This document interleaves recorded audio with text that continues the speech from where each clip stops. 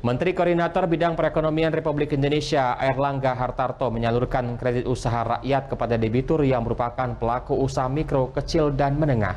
Pada tahun ini Menko Perekonomian menaikkan alokasi KUR menjadi 373 triliun rupiah dari alokasi KUR sebelumnya sebesar 285 triliun rupiah pada tahun 2021. Dalam kunjungan ke Provinsi Sumatera Selatan, Menteri Koordinator Bidang Perekonomian Erlangga Hartanto menyerahkan secara langsung kredit usaha rakyat atau KUR kepada puluhan debitur di Provinsi Sumatera Selatan. Puluhan debitur merupakan pelaku usaha mikro kecil dan menengah seperti kelompok pedagang bakso, kelompok petani sawit, dan kelompok pembuat songket.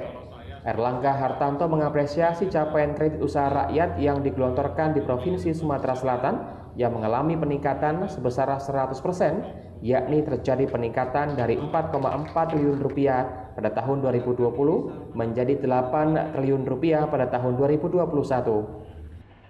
Pada tahun 2022 ini, pemerintah secara keseluruhan menaikkan alokasi KUR dari 285 triliun rupiah pada tahun 2021 menjadi 373 triliun rupiah KUR ini disalurkan bisa untuk semua aspek seperti perdagangan, perkebunan, pertanian, jasa, dan lain-lain.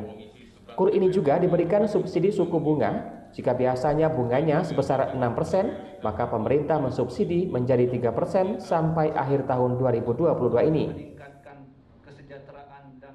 Yang di tahun 2020 itu sekitar 4,4 triliun dan di tahun 2021 8 triliun dan untuk kreditnya diberikan bunga 3% sampai akhir tahun dan pemerintah memberikan subsidi tambahan sebesar 3%. Dan tentunya ini akan didorong bahwa kredit usaha rakyat ini bisa untuk menggerakkan usaha UMKM dan juga uh, usaha dalam bentuk klaster diberikan tadi pagi diberikan kur cluster juga untuk replanting sawit. Beberapa aspek Bang Menko yang perlu saya laporkan mengenai kur ini.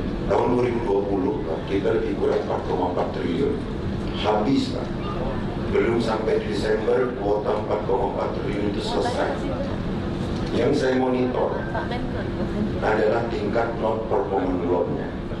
Ternyata hampir dikatakan nol 2021 meningkat tajam lagi menjadi lebih kurang 8 triliun hampir sebagai bentuk komitmen pemerintah dalam penanganan COVID-19 dan penguatan pemulihan ekonomi, pemerintah mempersiapkan anggaran sebesar 455,62 triliun rupiah untuk penanganan COVID-19 dengan tiga klaster kesehatan. Dari Palembang, Muhammad Riza Palepi, iNews melaporkan.